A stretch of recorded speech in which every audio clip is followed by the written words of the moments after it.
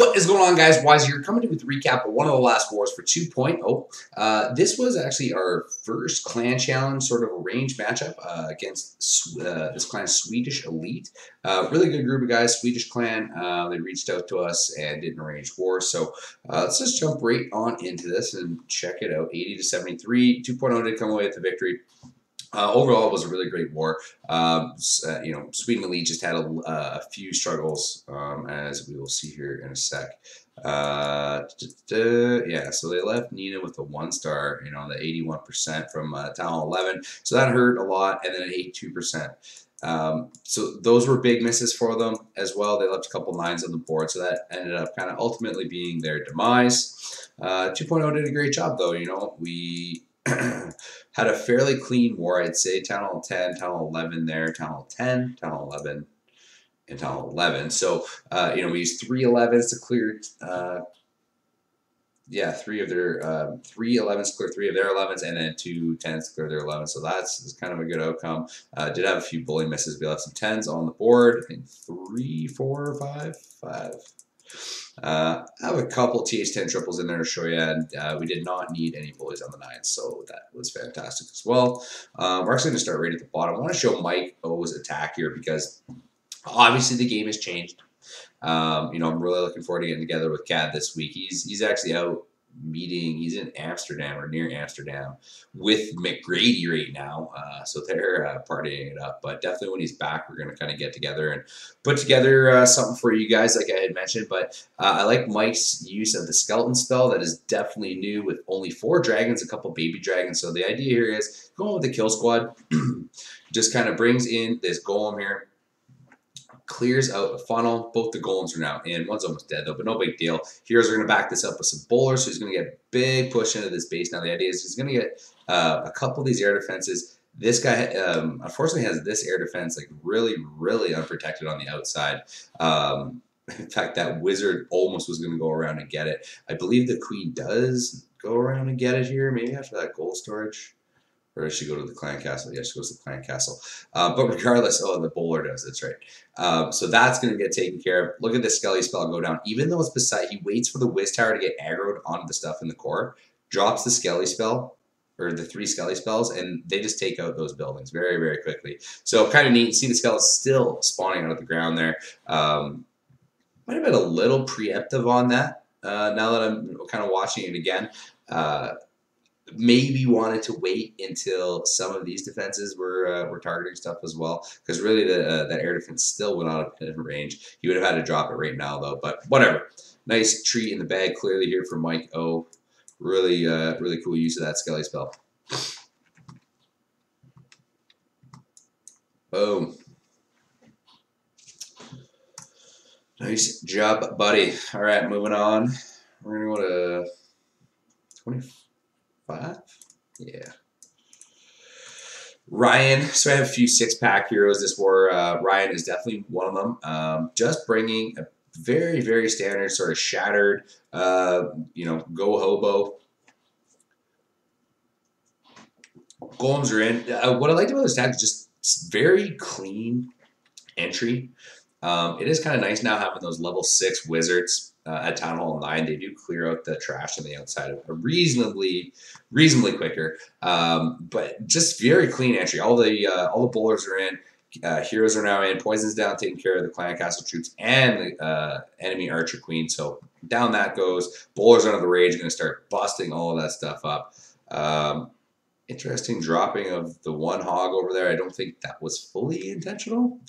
Uh, I think that was a misclick. But anyways, drops the Giants, right? Gets a little tanking from those point defenses. Um, the Hogs take them down cleanly without taking any damage. Probably didn't even need this heal that quickly. Maybe could have overlapped it a little bit. Because um, this last compartment is a little deadly for Hogs, but mind, still has eight in the bag.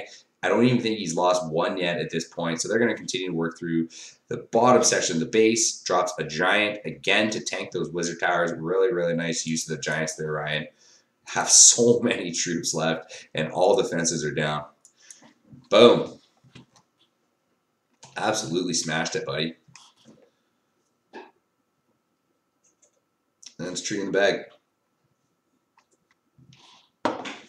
Man, it's like 2 in the morning we're getting really busy on the weekends again now, so I'm there pretty late, and especially these clan challenges. I'm pretty sure you only get 24 hours to recap them. It's definitely not as long as normal. Uh, I'm trying to say normal um, replay time, like for your wars or warlock time, whatever. You know what I mean? Anyhow, so uh, Derp was another six pack champ. Derp's going to bring a shattered entry with six dragons. Uh, I thought that was kind of neat. We did see a couple, like you just saw Mike using the drags. Uh, he only brought four. Derp's bringing six, so that's a very heavy investment. You're going to have to take care of a lot of air defense, but if you watch this entry, he's getting exactly that. He's going to get these three air defenses. I believe he Zapquakes the one near the Queen uh, and King, sort of in the open area over here. And it, it, really, six dragons are going to rip through Talon line base. It's only going to be a matter of time at that point. Uh, so it's really, you know, really has to get those dragons down very, very quickly. We're just dropping down here at the six o'clock. Here they come.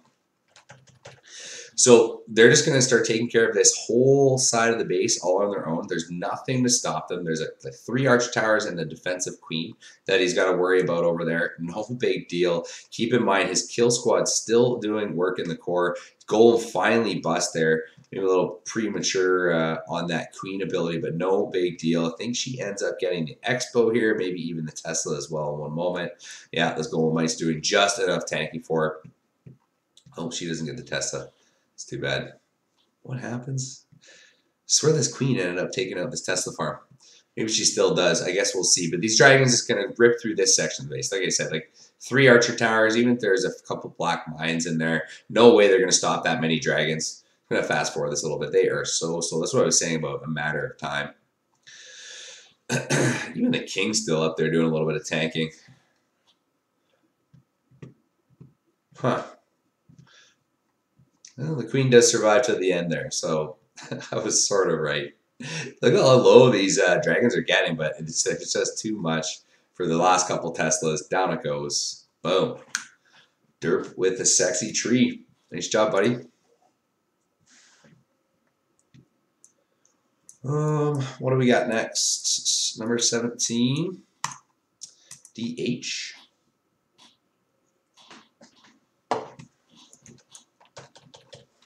What I like about this tack? Oh, another very clean entry I found too. I like the minis here early on, knowing they're out of the Arch Queen range. Let's get working on the high hit point structure there. Take care of the uh, uh, funnel over there. down goes the queen. He's going to go ahead and drop the healers. Basically walk this queen down, down and around this archer queen chamber. Uh, take care of the uh, enemy arch queen. Pull up this clan castle here in one moment. Nice early poison on the queen. I like that as well. so that is a deadly, deadly comp against a uh, against an Arch Queen. So you're gonna kind of see that with the early poison and the early rage, and it just kind of worked out perfectly.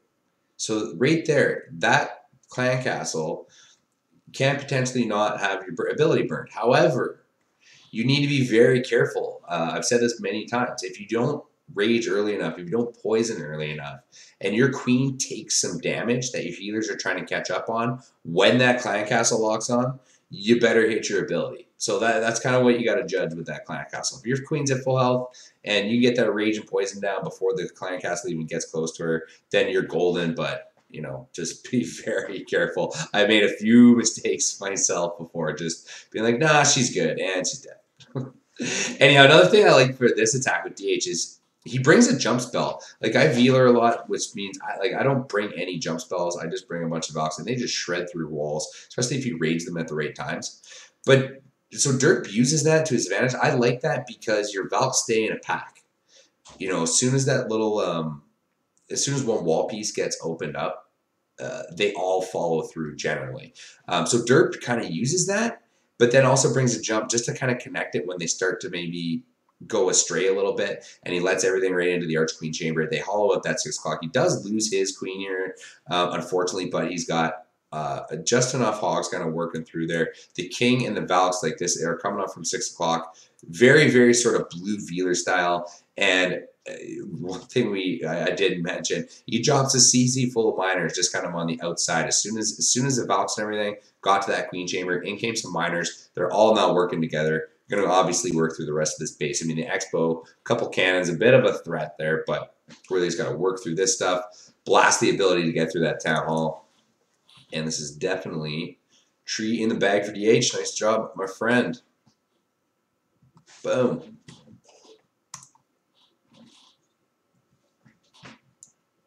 Uh, why did I have 17 before 18? That was stupid. But Leo, another six pack hero. Uh, not often you're going to see Leo bring hogs. Maybe now more so that the uh, they're a lot more powerful down online. Um, you know, Leo is definitely, definitely our air master, but he's showing here he, he doesn't just Lalo, he does everything. Nice little stone stone go just lets these golems on in. Gonna kind of just open this wall, jump right over this section. Down it goes. nice funnel here too as well. Um, his bowlers, if he didn't get that building, his bowlers probably would have walked down three, but gets it just in time. Everything funnels into that core now. Poison's down. Baby Drag is dead. No big deal. King hasn't even hit his ability yet. It's about to pop. Heal spell's down as well, right over top that King. There he goes. Smashing down that enemy Archer Queen. He's going to start working on that Barb King as well. Queen now takes this weird path back out and around, but no big deal. It actually ends up working out because she does all the cleanup on this side. Uh, sends some, hogs, recognizes it though, and sends some hogs over here. Uh, basically, the rest of them, he just wants to get these point defense down. Just let his queen kind of walk freely down here and take care of all this stuff. Does lose a few to spring traps, and they pit her out a little bit as this wizard tower beats on them. Um, but sends or has three more that he sends on that cannon. Just again protect the queen. Very conscious of that. Has so many left over still. Finally, down, uh, there's no no actual defenses to go. This is definitely a tree in the bag for Leo. Nice job, buddy. Crushed.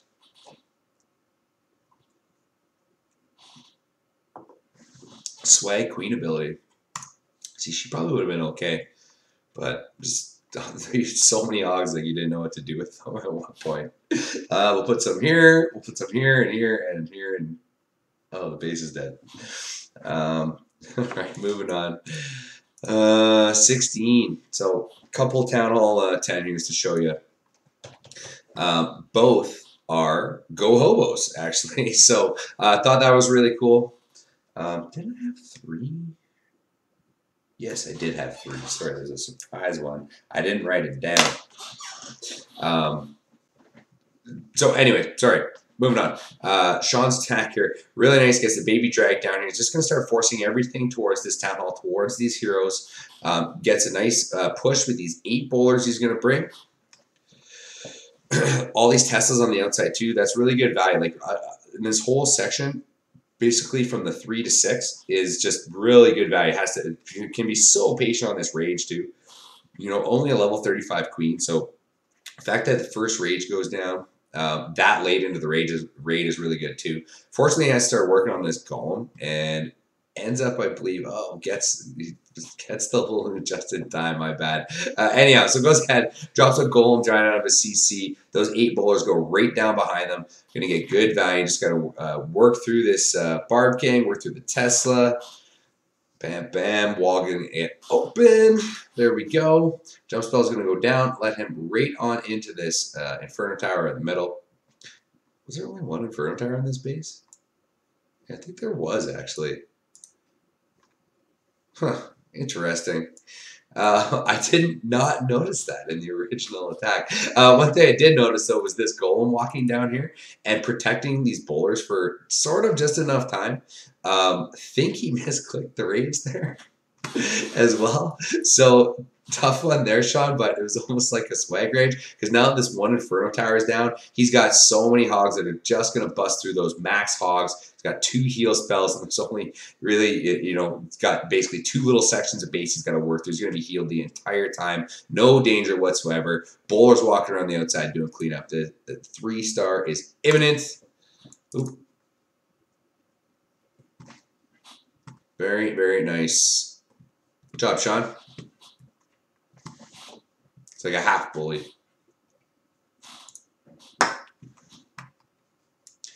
Um, hmm. Definitely the next one. so Zerdzi going again. Beautiful. Go Hobo. One more time. Uh, especially against these level one Infernos. Um, because uh, obviously um, the last attack we only had one Inferno. I'm to double check that. I swear there's only one Inferno in the middle. Maybe I'm crazy. Um, but, you know, Hogs can work their way through uh, level one Infernos reasonably well, especially Max Hogs. You're to kind of see that in action here. Um, so golems go down. You're going to start working through the wall. Bam, bam. Did you forget wall breakers, Zerds? Zerds forgot wall breakers. I'm telling you, in this attack, I just noticed that now. He definitely did not bring any wall breakers. There's no way he did not intentionally mean to bring some to open that wall. Anyways, bowlers in, heroes in, poison down, everything kind of working through this core. The idea is he really needs to get to this Inferno Tower. One, obviously kill the clan castle troops, really just hollow out this 50% of the base, uh, maybe with the town hall excluded. But I believe the queen even steps up, um, finishes off the Inferno Tower, takes all of this stuff out. Um, the queen, pretty sure, lives pretty long in this raid. So here comes the two finger drop on the Hogs. He recognizes he's also taken out three giant bombs, still has two heals and a freeze. So he's got a freeze for this level one Inferno. He probably could have just brought a third heal as well and been been off, been just as well off because uh, this queen steps up, boom, boom, two shots down goes that level one Inferno Tower. No need for the freeze whatsoever at this point. Gonna get that second heal spell down around these uh, wizard towers. There it goes. And these hogs are definitely just gonna roll through the rest of this base. Just uses uses the freeze on the on the wizard tower and the and the expo, but absolutely unnecessary. Look at this golem here too, walking around the outside. What a chump. What are you doing, buddy? What are you tanking? well, it's cracking on here while this finishes, and Zerds gets the tree in the bag. Nice job, buddy. All right, the secret attack. The secret attack was. So this is uh, kick alpha is kickbacks.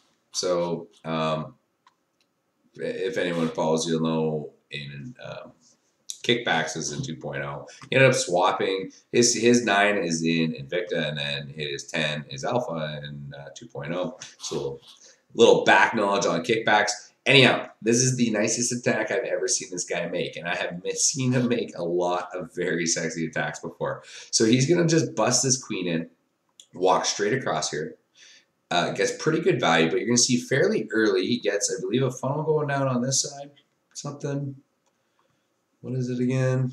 It's got something. Queen's gonna work through this stuff, blah blah blah. Any second, he's gonna start getting this funnel going on this side. I'll just use the king as the tank. So quick wizard down. Going to kill that. Uh, oh, two wizards actually. Very nice. Get that uh, gold mine down very quickly. Gets a few Valkyries in. Just kind of lets this king and handful of Valks in towards this queen. They immediately lock on a defensive queen, take that out. They also uh, pull up the clan castle troops. So it's a little unfortunate because the Valkyries basically die right here. Boom you know, one bloom crash with the Infernos on them. They're toast. So King almost pitters out. He works on this golem for quite a long time. Uh, Kicks recognizes this, drops the poison to make sure that Balloon doesn't get another drop off. Queen steps up, starts helping out. and you're gonna see it kind of like works out perfectly. He's already gone in with the with the air portion now down at six o'clock. But really, the key to this raid is what happens with this queen here. Hits the ability just in time. Nice work on the balloons in from the uh, 3 o'clock. Both Inferno Towers go down at the same time. Queen manages to survive with the healers on her. Inferno Towers down, gets that rage down, does perfect timing, gets that queen right back up to full health. He's got hounds moving into this last air defense. Goes ahead and drops a heal too on these uh, sort of balloons that are trailing uh, behind uh, that lava hound that got out in front. Only a few Teslas remain. Really, just got to get those balloons on over, and it's definitely GG. Just absolutely sexy hit. Nice job, kicks. I mean, these Inferno, um, sorry, Teslas over here posing a little bit of threat, but then just a huge pack of balloons. I believe he's got just enough actually to get over to this Archer Tower in time. I think maybe one balloon survives, but it doesn't matter. Like, obviously, he's got his queen, who's actually about to believe redirect, maybe. Soon as I believe this gets cleared, she kind of redirects and runs around. But yeah, just makes it to the arch tower just in time with two two balloons. One balloon? Is that one balloon? That's one balloon. One balloon to go. but so many pops. Look at that back end. Just a matter of time now. Kicks. Just killed it. Love that raid. Very sexy. All right, so Sweden Elite, thank you for the fantastic war. Shout out to you guys. Just go ahead back here and check you guys out again, SwedishElite.net. Um, obviously, you can uh, apply on Swedish. I'm Not 100% sure what that means, but home is the Swedish Clash Comp team. Um, you know, these guys are good. They do have their YouTube channel. I guess Lord Oliver. Um, check them out because they're uh, definitely legit. So uh, shout out again, uh, Swedish Elite. Thank you for the war. Uh, I'm going to call it a night here, guys. That'll do it for your wisdom from Wiser. Just trying to help you bag that next three star. Till then, I'm up.